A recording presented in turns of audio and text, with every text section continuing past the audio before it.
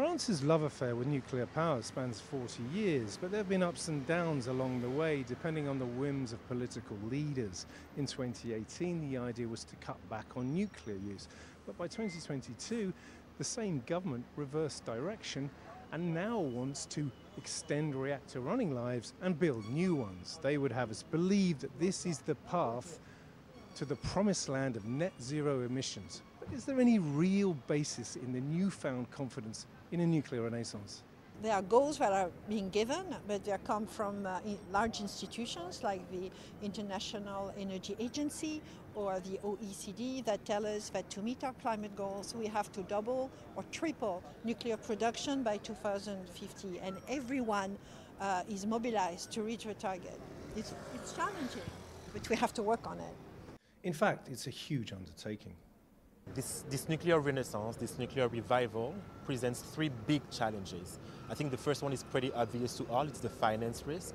Uh, we're talking about 50 billion euros that are needed just to extend the lifetime of existing reactors, 50 additional billions for new reactors. That's massive. Where are you going to get that money? How are you going to disburse it on time? Um, I think a second big issue is labor, uh, skilled workers where do you find them? Because we no longer have them uh, in the needed numbers in France. How do you bring them in? How do you train them uh, so that you can meet your goals on time? That's a big problem. And I would say maybe the third one would be the big spats that we're seeing, uh, both between Germany and France on nuclear issues, and that is really showing up uh, at the EU level, especially on uh, the contract for differences side, CFD uh, but also inside, like within the country on the domestic level uh, between um, the government and EDF on the ways in which uh, this nuclear rollout should happen, this nuclear renaissance should happen, and what are the best tools to put in place to make it happen on time. How serious is this problem? It's very serious because uh, it's both important for French con consumers, households, and SMEs who still who want to pay their, their electricity the cheapest way possible. And it's very important for EDF because they, they have to, um, they need visibility on price in order to build new uh, nuclear re reactors. And France do need those re reactors. Even if they can find a way to finance the costly nuclear venture, there are still many other unpredictable and significant risks ahead. With climate change, you have two, two type of challenge. The first one being cooling, because in a hotter climate, it's harder to, to cool a plant. And the second one is uh, safety, because uh, you will have more extreme and more frequent extreme weather events, which can lead to damage to the plant or to the infrastructure it needs to, uh, to work properly. The issue is that it's very hard to, uh, to uh, forecast what the climate will be at the end of the lifespan of, uh, of a nuclear plant. It will be the end of the century, it depends of uh, future emission. We don't know where we are going precisely. So it's hard to uh, design now a plant that will be able to work properly at the end of the century.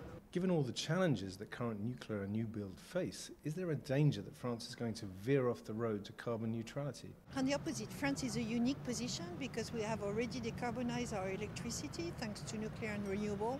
So we're in the same position as countries like Sweden, like Switzerland, or like Finland now, is that we can uh, use our low carbon electricity to um, eliminate fossil fuels in cars, you know, in homes and so forth, so to electrify all these users.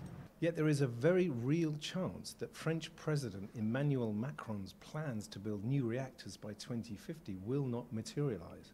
What are the consequences? The consequences of this deal going wrong are multiple. Yeah. I think the first one is that you will have to do course correction. So at the very last minute, bringing a higher uh, uh, share of uh, renewable in your mix, uh, making sure that you have broader partners, uh, partnerships, sorry, uh, with say Germany, with the rest of the EU, with North American partners, potentially even with Asia and also uh, the timeline for uh, meeting your net zero targets, uh, which might shift or that you might have to readjust should the, your nuclear revival still play a central role uh, in your new mix.